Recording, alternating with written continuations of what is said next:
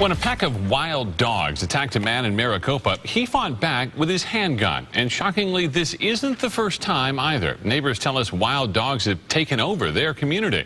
ABC 15 Steve Cooge went to South Maricopa to see just how bad it's gotten surrounded by a pack of wild dogs. It was a frightening situation some people may not have made it out of alive. She jumped in the middle of all nine of them to save me. Dennis Johnson says he owes his life to his border collie, Baby.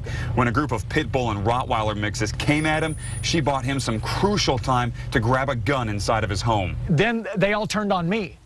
So I just started shooting. At that time, I had, I had, I didn't have my pistol out. I had my rifle at 22, and I just started shooting. I, ki I killed one and injured two. Baby was hurt badly. She's got 30 stitches, laceration from here to here on the top side, and then it goes around on the inside. Throughout this area, you can see signs of these wild animals. I mean, just take a look right here in front of me. These are tracks, footprints of at least a dozen different dogs. Over the past few years, Johnson has caught nearly 60 of the wild dogs. But lately, he says they've gotten even more aggressive. They're packing up and attacking all of our animals. Johnson, like some of his neighbors, carries a gun on his side whenever he goes out.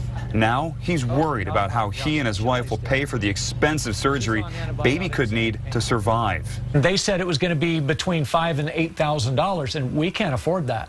In Maricopa, I'm Steve Cooge, ABC 15 News. County Animal Control has set up traps to catch the dogs, and if you want to help Johnson and his dog Baby, you can learn how under the story on our website, abc15.com.